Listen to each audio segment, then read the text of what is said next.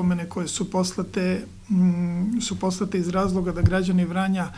dobiju stanje svojih zaostalih obaveza koje imaju i da jednostavno iskoriste zakonsku mogućnost za razrešenje određenih spornih pitanja koje imaju u vezi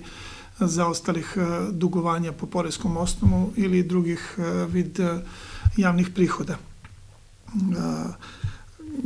Građani znači se mogu odazvati prilikom primanja ove opomene u roku od 5 dana, taj rok je naravno i duži, takonski rok je 5 dana, naravno tu postoji tolerancija zato što svi građani ne mogu istog dana primiti te,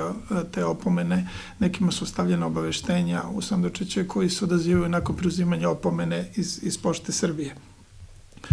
građani mogu iskoristiti priliku da nakon uručenja ove opomene podnesu, podnesu ukoliko, ukoliko naravno nemaju sporna pitanja po ovom osnovu,